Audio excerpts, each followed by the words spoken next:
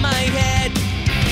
I've never wanted to give up on my destiny. I've never tried to realize when to come on.